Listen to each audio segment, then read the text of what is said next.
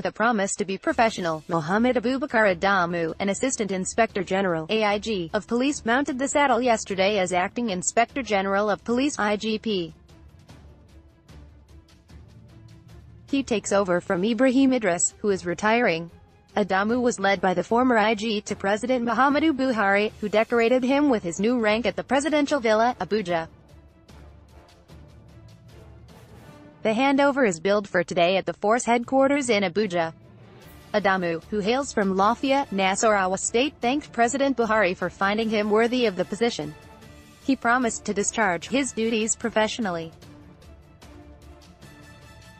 briefing State House correspondents after holding a private meeting with the president, Adamu promised that he will be professional, especially in the handling of the forthcoming general elections.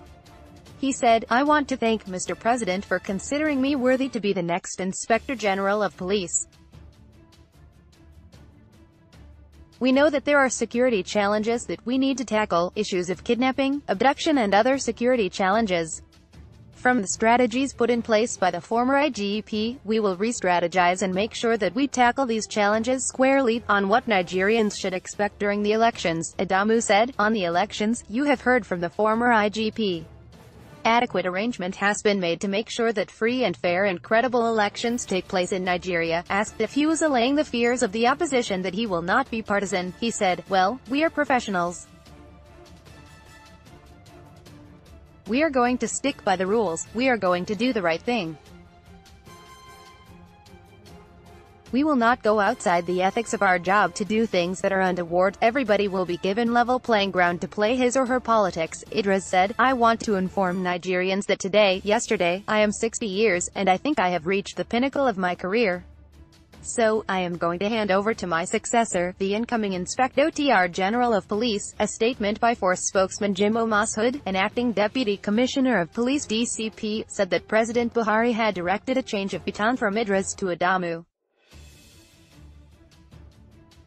The President and Commander-in-Chief of the Armed Forces, Federal Republic of Nigeria has consequently directed that the outgoing Inspector General of Police, IGP Ibrahim Idris, hand over to the Assistant Inspector General of Police, AIG, Mohammed Abubakar Adamu, MNI as the Acting Inspector General of Police. The statement reads, the Acting Inspector General of Police, AG, IGP Muhammad Abubakar Adamu, MNI hails from Lafia, Nasarawa State and a holder of BSc Geography. He enlisted into the force on 1 February 1986 as Cadet Assistant Superintendent of Police. AG. IGP Muhammad Abubakar Adamu, MNI is a versatile and seasoned police officer, a professional par excellence. He attended several senior officer courses on law enforcement, crime prevention, control and management within and outside Nigeria.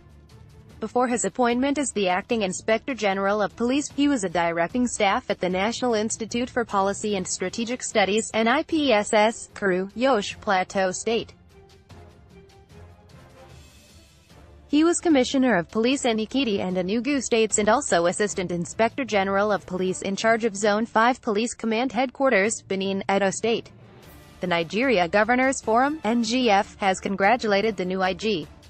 In a statement signed by Abdul Razak Bello Barkindo, head, media,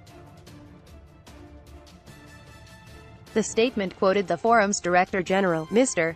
Asishana Bayo as saying, I am absolutely sure that Adamu Muhammad Lafia would bring professionalism and true leadership to policing in our country.